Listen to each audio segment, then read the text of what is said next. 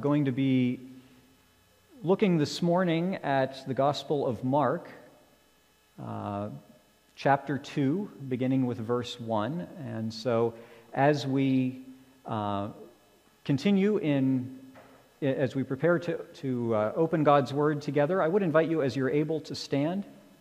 Uh, the words will be up here on the screen, but please feel free to turn there in your Bibles as well. Jesus is near the beginning of his ministry, and Mark writes here A few days later, when Jesus again entered Capernaum, the people heard that he had come home. They gathered in such large numbers that there was no room left, not even outside the door, and he preached the word to them. Some men came, bringing to him a paralyzed man, carried by four of them. Since they could not get him to Jesus because of the crowd, they made an opening in the roof above Jesus by digging through it, and then lowered the mat the man was lying on. When Jesus saw their faith, he said to the paralyzed man, Son, your sins are forgiven. Now, some teachers of the law were sitting there, thinking to themselves, Why does this fellow talk like that? He's blaspheming. Who can forgive sins but God alone? Immediately, Jesus knew in his spirit that this was what they were thinking in their hearts, and he said to them, Why are you thinking these things? Which is easier, to say to this paralyzed man, Your sins are forgiven, or to say, Get up, take your mat, and walk? But I want you to know that the Son of Man has authority on earth to forgive sins. So he said to the man, I tell you, get up, take your mat, and go home. He got up, took his mat, and walked out in full view of them all. This amazed everyone, and they praised God, saying, We have never seen anything like this. May God add his blessing to this word. Please be seated.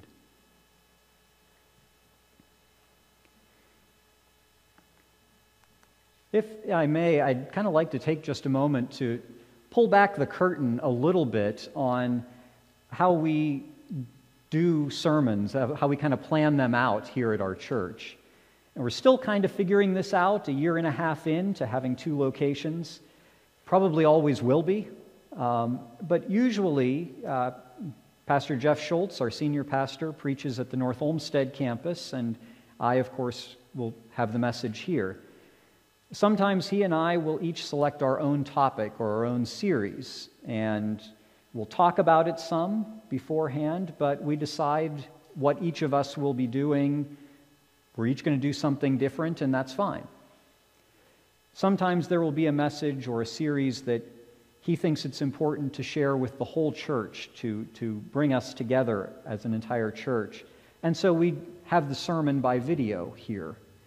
And that's also helpful, kind of like last week when I'm away on vacation, to be able to, uh, to give me a little time away, quite selfishly. Um, sometimes we'll do a series in parallel, and we've done this before. We'll both take the same topic, the same main scripture passage, but we each kind of prepare our own message. We'll, we'll check in a few times during the week and kind of be moving in the same direction, but we kind of do our own thing with it. And the idea for this current discipleship series was supposed to be that but because I was away there, we were going to do the series Offset, where I would preach on a topic a week after Pastor Jeff did at North Olmsted. He even said he would share his notes with me so I could use them as a starting point. Well, that was the idea anyway, until I realized a couple of weeks ago our schedule while we were down in Texas just wasn't going to allow me to prepare a sermon very well for last Sunday. So I emailed Pastor Jeff. I asked him could we just share the message by video instead? Now, if you remember, we did that, and his message last week, do, does anybody remember the title of that? Putting you on the spot here. Hmm? Balcony people or basement people, yes. And he said, Balcony people are those who build you up and encourage you, and basement people are those people who just bring you down. Well, when I asked him about using the video, I just mentioned kind of offhandedly, you know, when I first saw the title and read the scripture passage for that, I actually had his illustration flipped. I got an idea about who each group might be, and my idea had the basement people as our role models and the balcony people as the ones we should avoid. I thought it would be kind of funny if people had seen both sermons. You know, be balcony people, be basement people, and everybody'd be confused. And it only took him a minute to reply to my email, do the sermon by video. and he added that there was a book, Balcony People, by Joyce Landorf Heatherly. He said it was pretty well known a few years ago, and it used the image the way that he did. Well, I looked it up. Balcony People was published in 1984. I chose not to remind Pastor Jeff how old I was in 1984. we are a community of one book, and it is not Balcony People. Someone once described Christians as a book club that's been stuck on the same book for 2,000 years. That's certainly not the whole picture, but it's not completely wrong either. Acts 2:42 says that the first Christians devoted themselves to the apostles' teaching and to fellowship, to the breaking of bread and to prayer. And that word devoted means that they adhered to the teaching of the apostles. They stuck to it like superglue. It was so important to them because the teaching of the apostles was the teaching of Jesus. And today we have their scripture, God's word to Israel, which we call the Old Testament. And it was collected with the apostles' teaching about who Jesus was and what he taught. And we call that the New Testament. And together, they're the Bible. Here at Friends Church, we believe that this book is the Word of God. We've been stuck on it for so long because we believe that it tells us how to be saved, what being saved looks like. But it's more than that. This book here isn't just an instruction manual for life, it's not just a legal text. It's a living story about how people messed up the world and how God was willing to pay everything to get us back. It tells us how we fit into that story, even today.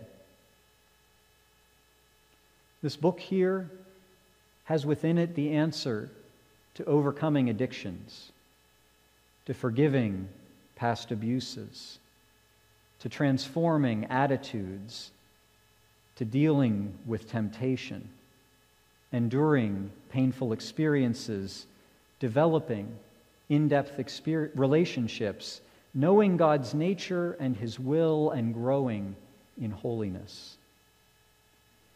Jesus quoted the Old Testament when he said, Man doesn't live by bread alone, but by every word that proceeds from the mouth of God. Mark tells us that the people were gathered in Capernaum to hear Jesus teach. They were hungry to receive the word, so much so that there was a large crowd gathered. Well, can I ask you this morning, are you hungry? For God's Word. When a baby is born, if she's healthy, she craves milk on a regular basis. I remember when our kids were infants. They might crave milk at 3 o'clock in the morning, and they didn't mind letting us know it. And I didn't at all mind nudging Ginger to tell her that the baby was hungry. now, Wilson is a teenager, and we're seeing a whole new definition to hungry. We don't bother telling him not to snack before meals because we know he's not going to spoil his dinner. But the other day, he just took a little bit of food at supper time, and so what was it that we said to him? Hey, man, what's wrong? Why aren't you hungry? A lack of appetite is a sign that something isn't right. 1 Peter 2 says, like newborn babies, crave pure spiritual milk, so that by it you may grow up in your salvation, now that you have tasted that the Lord is good. Peter says the Word is nutritional milk for young Christians. But a lot of Jesus' followers have lost their appetite for God's Word.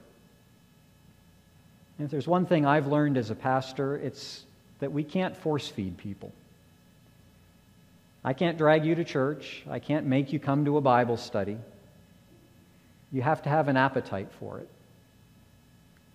And you know, you can't just drum that up in yourself. You can't make yourself hungry. Paul writes in Philippians chapter 2 It is God who works in you to will and to act in order to fulfill his good purpose. This is the secret. If we ask, the Holy Spirit within us will work in us, not just to act in the way that God wants us to act, but to want to act in that way. He can work in us not just to understand and grow in His Word, but to want to learn and grow in His Word. He will give us the hunger. But I think there's something else very important to understand. That crowd in Mark 2 was hungry. They were packed in tight in that house to hear Jesus. But then someone else shows up. He's a paralytic. He can't walk. He's completely dependent upon four friends who are carrying his stretcher. But they can't get to Jesus. Why? Well, because of the crowd. Remember what I said about how I had, had flipped the balcony and basement people? When I first thought of balcony people, I actually thought of the church that Ginger and I attended whenever we lived in Pittsburgh. It had about 3,000 people attending every weekend. They had a big sanctuary, but it wasn't that big. So they had to have something like six services every weekend. Often, Ginger and I wound up sitting up in the balcony. That balcony was a place where it was very easy to feel present, but actually be disconnected. It was very easy to be just part of the crowd. And you, you know, you don't have to have a church of 3,000 people to be somebody who just sits in the balcony. Sometimes we think that because we went to church on a Sunday morning, because we were part of the crowd, that we have connected with Jesus. We were here, we sang, we listened, we left. But nothing changed. The crowd is one of the greatest things that can inhibit transformation, that can keep us from authentic kingdom living, that can block up there from coming down here. So I ask is the crowd keeping you from Jesus? Crowds come together for an activity. People come together to see a ball game, not to talk to you. There are work crowds, school crowds, and church crowds. Most of us are part of crowds almost every day. Might not be large, but if you think about it, a crowd has very little to do with community. It's kind of a pseudo community, isn't it? Based on activity and superficiality. Because in a crowd, if somebody's talking to you, they, they might know your name, they might not, but it only really ever gets as deep as, "Hi, how you doing?" And what do you say? Fine. Fine. Everybody's fine in a crowd. Everything is just fine. No one knows your struggle. No one knows where you hurt. No one knows your victories or your, your defeats. No one knows what you're going to do this afternoon. And no one really cares. So you're alone in the crowd. We can even come to this place with just two or three dozen people on a Sunday morning, and people can still feel alone. Now, sometimes that's the way people like it. They don't want to be known. They don't want to be held accountable. They don't want to take the risk of getting involved with someone else and someone else getting involved with them You know, I don't need anybody. It's none of your business what's going on in my life. Though we might belong to the crowd, we're really still just in isolation. In fact, we're far from God, far from the community that He desires for His people. Because crowds can actually keep you from Jesus, the real Jesus, the transforming power of Jesus. No one is transformed by the crowd. And a lot of us mistake, make the mistake of looking at the church crowd and thinking that it's community. But as long as we're just hanging out in the crowd, looking down from the balcony, the crowd is actually going to block us, to block true transformation from happening in our lives. Now, sometimes we realize that, but we go to completely the other extreme. Well, if the crowd is just hypocritical and shallow, then the answer must be just to go it alone, right? Just me and Jesus. No. Because when we look at Mark 2, we see that that paralyzed man had four friends. Those friends went upstairs. They dug through that flat roof, gently lowering the man to the feet of Jesus. We don't have a basement in this church, and it's probably a good thing after all the rain that we had this past week. We might have an indoor pool instead. But the church I grew up in in Pennsylvania, we, we had a basement there. Now, that church had a nice sanctuary with tall ceiling and beautiful woodwork, stained glass windows. In contrast, its basement wasn't much. It was kind of like this one. Had only a few narrow windows way up by the drop ceiling. And that ceiling was really pretty low had those old tiles on the floor that almost every church basement has, the ones that are probably asbestos. And it had, I remember, it had a couple of shuffleboard targets carefully laid out on the tile. Now, for the record, I have never once seen anybody play shuffleboard on a floor like that, but they all seem to have those, right? But growing up, I remember that musty basement as the place where church really happened. It was where we gathered and lingered over rigatoni and pretzel jello salad. It was where we had the annual Good Friday breakfast and where we packed shoeboxes to share Christmas with kids all around the world. It was the place for wedding receptions and funeral lunches. It was a place for friends. Now, I don't want to overglorify it. There was a lot of the time that the conversations there were frankly pretty shallow. There were church parties where Jesus wasn't mentioned once after we said grace. Even the basement can become a crowd. But we find the truest experience of church when we get down out of the balcony, out of the ritual, out of the pretension, out of the crowd, and out of ourselves. Jesus said in Matthew 18, Truly I tell you that if two of you on earth agree about anything they ask for, it will be done for them by my Father in heaven. For where two or three gather in my name, there am I with them. He says it's about two or three. It's not about crowds, but it's also not about lone rangers. And this is so important. Jesus lives in the intimacy of real community.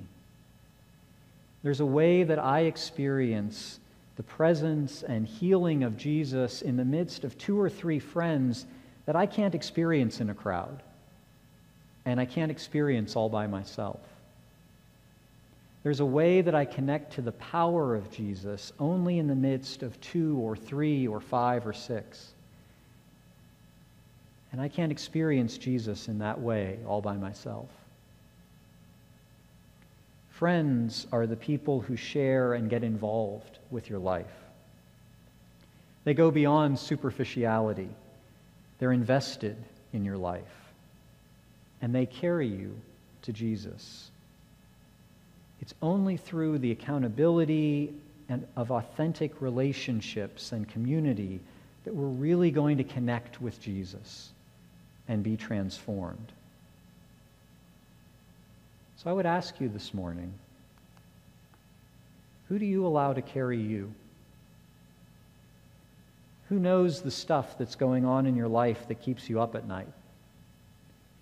The stuff that almost nobody else knows. Are you willing to be vulnerable with a friend or two or four? A group of friends who love you so much that maybe if they wake up in the middle of the night, they carry you to Jesus by praying for you, praying for the struggles that you're facing. Who carries you? Now, notice the friends, they couldn't solve that man's problems, but they could carry him to Jesus. I think today's great counterfeit for this kind of fellowship that Christ wants to give his church, it's probably social media, if we're honest. It can be good. It can be a way to connect to family and friends when you live far away, or so I'm told.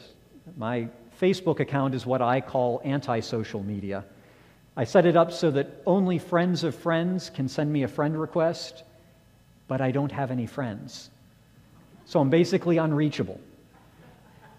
Every once in a while, I think that maybe I should open it up and connect with some people I haven't seen since college, but then I hear of somebody else getting their Facebook account hacked and sending crazy stuff to everybody on their list, or I hear what someone I respected is posting, and I just think, you know, I'm good.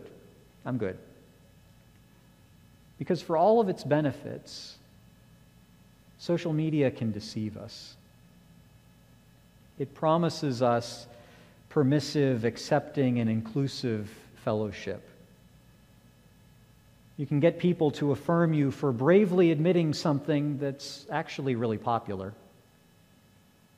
You can share secrets with people who live in a different city or time zone or continent, secure that they're not going to tell anybody else you know we have a desire to know and be known. And we're given the promise of that online. But in truth, it just pushes us farther from reality. It's just a counterfeit of the genuine face to face relationships that we were really created for. And it can suck away our time, blocking us from the real deal. But you know, if we're honest, how often does the church really provide an alternative? If someone's husband talks about separation or divorce, where does she go? Maybe your daughter ran away to meet her boyfriend for the third time and she's no longer listening to you. Who do you tell that to? You struggle with the temptation of sin and you feel shame mixed with fear, who do you go to? Or maybe you were unwise financially and got into trouble, or you've just heard from the doctor and they want to do a biopsy, and where do you go? Who is carrying you? That's why we're moving as a whole church to emphasizing our growth groups. We'd love to see everyone in our church involved in a, a growth group or a Wednesday evening Bible study or a Sunday morning prayer group. Some group where on a regular basis you're getting the opportunity to, to feed on God's Word together, where you can get to know one another and develop friendships that will carry you to Jesus. You know, we had a great response to our Thursday growth group here when we started it a couple of months ago. In fact, we've had nearly 20 people show up for our gatherings. But I realize there's actually a problem with that and an opportunity. Because as I told the group a few weeks ago, 20 people is really too big to build that kind of relationship. It's too big to develop that kind of intimacy. It's too easy for it just to become another crowd. So I said, I want, really want that big group to become two groups or even three. I want to have groups that are small enough to really get to know one another. small enough to welcome more people in. Because we don't call ourselves crowd church, we're friends church. We need to be passionate about developing those vital, life giving friendships where we can come together, study God's Word, share together, talk, and in the midst of that, find that we've become friends. You know, that's a kingdom word. Jesus said in the Gospel of John, I call you friends. Something important to think about. Jesus knew that he couldn't fulfill God's purpose. He couldn't be obedient through his ministry all the way to the cross if it weren't for his friends, for the authentic community who were carrying him.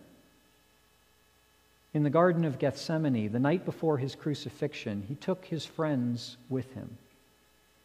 And here's what he said My soul is overwhelmed with sorrow to the point of death.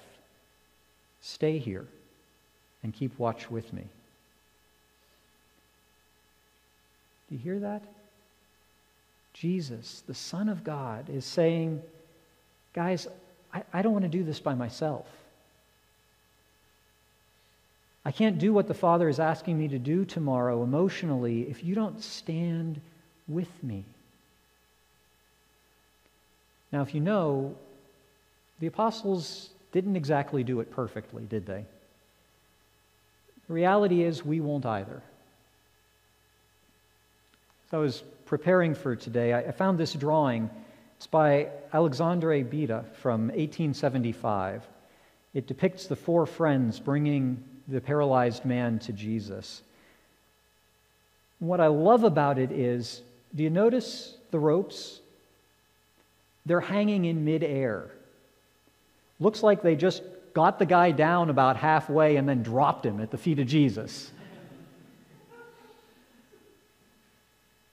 You know, the reality is we're all flawed people. I am, you are. We're living among flawed people. Sometimes people are going to drop us. And we can get jaded and shut everyone out or we can fall at the feet of Jesus. Fall at the feet of the God who is bigger. We can forgive one another and keep carrying one another to Jesus. And let me take it another direction. Who are you carrying? A lot of people say, I don't need to be part of a group. You know, my life's really fine for some reason, they fail to see that real Christian transformation calls them to be a friend to someone who's struggling. How much more, then, should you be involved in a group where you can be a help and a support to others? The reality is, you might not feel that you need them today, that they need you, but this is life. You're going to need some, somebody else someday, maybe tomorrow maybe this evening. Now, to form more growth groups here, you know, that means we need more people who are willing to lead those groups or be a host for those groups. Now, we will provide resources and some training and support, but we need people who are willing to step out in faith, who are willing to say, Yes, I may not do it perfectly. I may not be completely comfortable doing it, but I'm willing to let God use me.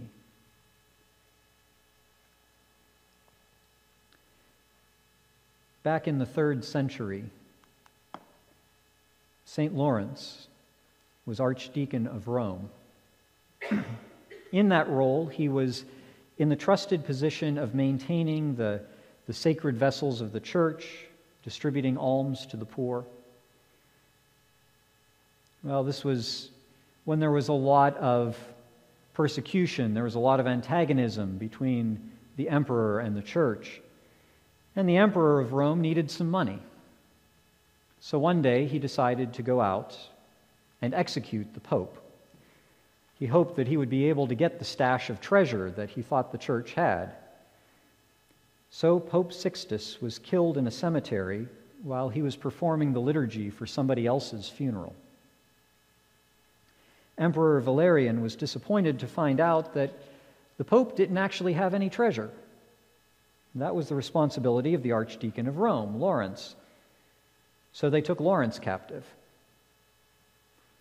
The emperor asked him, Where is the treasure of the church? And he threatened Lawrence with the same fate that the Pope had received.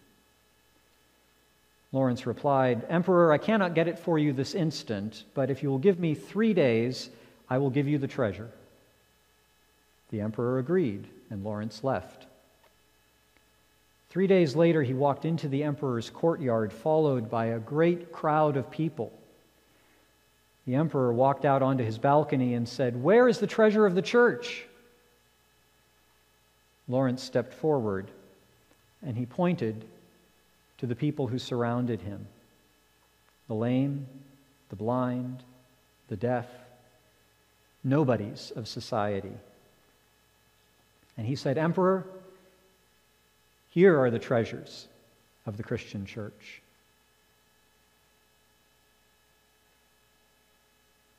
As Pastor Jeff likes to say, one of God's greatest gifts to his people is his people. We're supposed to hunger for his word, but we can't fulfill that in isolation. And we can't follow him truly just as part of the crowd, disconnected from one another. The people sitting next to you are of infinite worth, worth so much that Christ gave himself up for her and for him. So this morning, will you commit to carry her? Will you commit to carry him? And will you let them carry you?